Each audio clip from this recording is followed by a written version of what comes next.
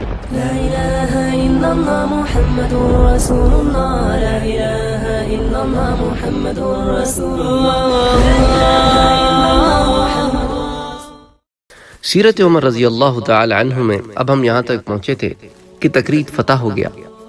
آج ہم فتح ماسپزان ذکر کریں گے۔ یہ امام تبری نے اس کو نقل کیا ہے کہ سولہ ہجری میں ماسپزان بھی فتح ہوا۔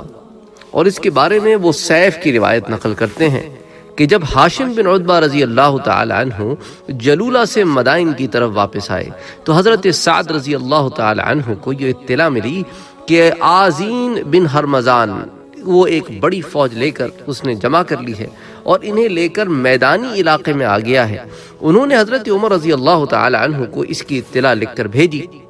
اس کے جواب میں حضرت عمر رضی اللہ تعالی عنہ نے لکھا کہ ان کے مقابلے کے لیے زرار بن الخطاب کی زیر قیادت ایک لشکر بھیج دو اور اس کے ہر اول دستے پر ابن حزیل اسدی کو رکھو اور اس کے دائیں اور بائیں بازو پر عبداللہ بن وحب راہبی حریف بحبلہ اور مضارب العجلی کو مقرر کرو۔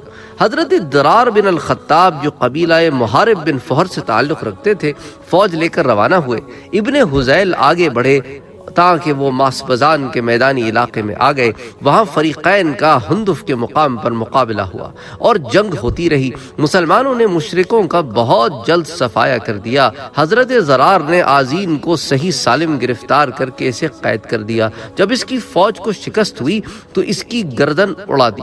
پھر وہ تعقب کرتے ہوئے سیروان تک پہنچ گئے اور ماسبزان پر بزور شمشیر قبضہ کر لیا۔ اس کے باشندے پہاڑوں کی طرف بھاگ گئے۔ حضرت درار زرار نے انہیں بلوایا تو وہ واپس آ کر وہاں رہنے لگے۔ حضرت درار بھی وہیں رہنے لگے تھے۔ جب حضرت سعد رضی اللہ تعالی عنہ مدائن سے منتقل ہوئے تو انہیں بلوا لیا اور وہ کوفے میں رہنے لگے تھے۔ ماسپزان پر انہوں نے اپنا جانشین ابن حزیل اسدی کو مقرر کیا۔